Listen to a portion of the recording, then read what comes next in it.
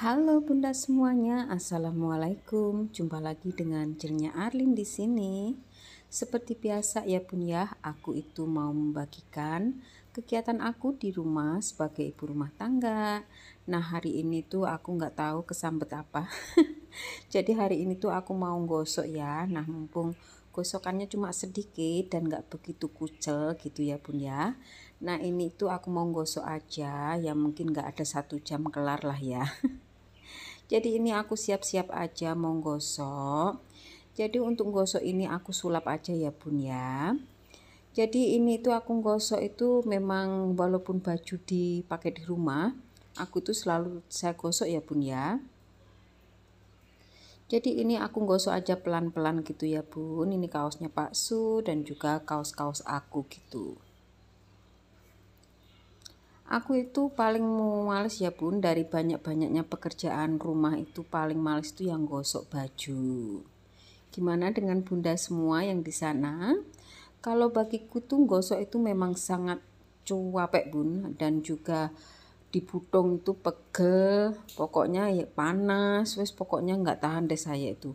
Makanya saya kadang habis nyuci saya lipet-lipet itu langsung taruh plastik resek, terus langsung aku taruh di laundry gitu bun. Jadi pulang-pulang itu sudah rapi gitu loh.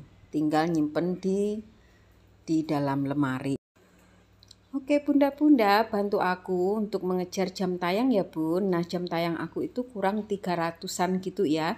Jadi udah mau 4000 dan subscribe aku juga udah 1000 lebih. Dan juga ini aku mohon bantuannya untuk uh, membantu saya untuk mengejar jam tayang ya. Jadi uh, bantu aku dengan cara menonton video sampai selesai ya Bun. Terima kasih Bunda dan terima kasih juga buat uh, subscriber aku yang selalu setia menonton video saya. Terima kasih banyak. Semoga kalian semua sukses ya Bun. Nah ini gosoknya sudah selesai ya. Terus lanjut aja aku mau ke dapur dan ini aku mau masak pare anti pahit. Aku tuh suka banget ya bun pare. Nah ini aku mau oseng-oseng sama ampla. Nah ampla ini udah aku ungkep sama ati ayam ya. Jadi amplanya itu yang makan istri, atinya itu yang makan pak suami gitu ya bun ya. Nah ini untuk bumbu cuma cabai bawang sama bawang putih sama bawang bombay aja sedikit. Nah ini aku lagi ngambil uh, wajan. Dan wajanku ini ya bun ya kenapa nggak tahu kok uh, dalamnya itu cepet kuning gitu ya. Tapi ndak apa-apalah yang penting masih bisa dipakai Nah ini langsung aja aku tuang e, minyaknya dan aku oseng bumbunya. Biasanya aku oseng dulu bawang putih, bawang merah dan juga bawang bombay. Karena aku nggak mau naruh cabenya di situ dulu karena nanti Pak Su bisa bersin-bersin sampai dia itu kalang kabut. Pak Su itu kan nggak makan uh, cabai ya bun ya. Jadi kalau aku mau masak kayak gini aku bilang dulu sama Pak Su aku mau goreng cabe gitu langsung dia tuh pergi ya bun ya ke belakang rumah gitu. Jadi kalau dia di dalam rumah walaupun aku tuh pakai penyedot asap dia masih juga kita masih uh, baunya itu masih bisa ke itu ya bun ya. Nah ini lanjut aja ke video ya. Jadi ini aku udah masukkan cabai Terus aku masukkan pareknya juga dan juga amplaknya. Dan untuk bumbu yang lain aku kasih Maggi seasoning, ada kecap asin, saus tiram dan juga kecap ikan sama sama masako rasa sapi ya bun. Nah aku tuh suka banget kalau oseng-oseng itu kasih kecap ikan ya bun. Kecap ikan ikin ini bisa bikin uh, oseng-oseng tuh lebih enak ya karena sausnya itu udah saus ikan gitu ya bun ya. Jadi lebih sedap menurut saya. Jadi di sini aku nggak kasih garam karena di situ juga sudah ada kecap asin ya. Aku memang kalau masak memang ngurangin garam ya bun ya. Jadi kecap asin sama saus tiram ini bagi saya udah udah asin gitu ya bun ya. Nah ini oseng-oseng aja sampai uh, tingkat kematangan pare tergantung selera ya. Kalau aku masih crunchy sukanya. Jadi ini alhamdulillah udah selesai dan udah mateng. Langsung aja aku tuang ke tupperware yang gelas ya karena uh, saya tuh nanti kalau udah agak dingin saya tutup rapet ya karena saya tuh kurang suka nanti takut dihinggapin lalat atau merutu. Merutu itu hewan kecil-kecil gitu loh bun aku tuh kurang suka kalau makanan itu udah dirubung merutu gitu. Kayak gimana gitu loh menurut saya. Nah ini alhamdulillah oseng pare ampla aku udah mateng. Ini saja tinggal dimakan sama Nasi panas, Masya Allah, bisa nambah-nambah bun.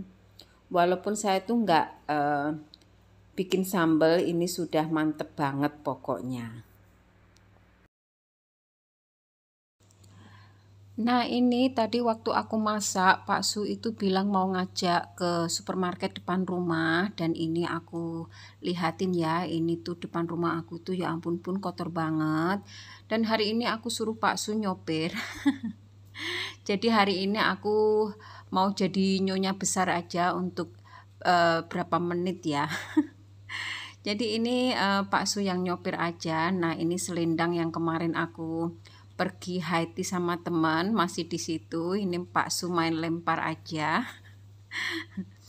nah, ini mobil aku isinya tuh berantakan ya Bun ya. Jadi um, di, mohon dimaklumin aja ini banyak sekali uh, aqua aqua gini loh bun jadi ini tuh aqua aku taruh sini kadang aku ke pasar gitu ya kadang sarapan apa apa gitu dan aku minumnya aqua nggak habis ya dibawa pulang gitu ya.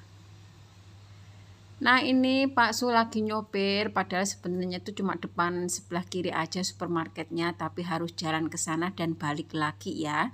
Jadi ini videonya nggak aku skip dan nggak aku edit ya. Jadi ini tuh 100% uh, uh, perjalanan aku menuju ke supermarket depan rumah ya. Nah biasanya aku kalau ke sini jalan kaki berhubung ini itu mau hujan jadi aku itu uh, takut kehujanan ya bukan takut kehujanan gitu pun cuma sama Pak Su takut bayah, uh, basah kuyup gitu ya jadi pakai mobil aja. Nah ini dia jalannya. Nah depan ini sudah mini zoo ya. Ada kelinci ada ular ada burung-burung pokoknya semuanya serba ada. Juga ada kijang juga ada ya. Nah ini dia aku mau menuju ke supermarket. Nah ini uh, ada sebuah bis di depan aku. Ini agak lambat memang. Nah ini dia supermarketnya nih di sebelah kanan. Nah kita belok ke sini.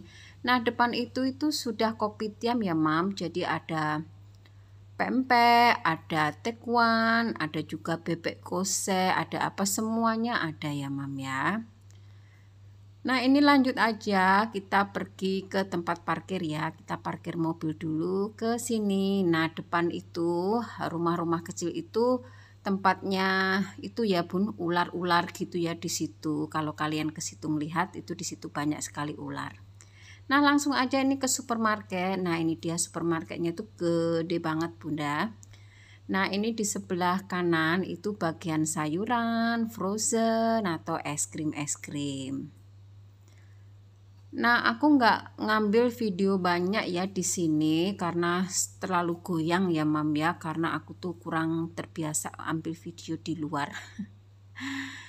nah, ini dia Pak Sutu lagi milih-milih butter atau uh, mentega gitu loh. Dia itu main ambil aja. Jadi aku nggak tahu harganya ini tuh berapa. Ini tuh margarin gitu loh, Bun, atau butter sih. Kayaknya margarin deh, Bun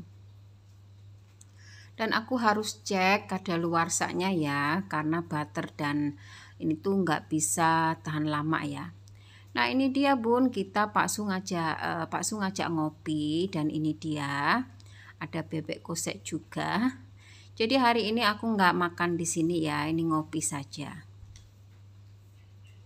Oke ini sampai di rumah. Aku udah masakin bakso. Bakso hari ini tuh mau makan ati ayam yang digoreng gitu.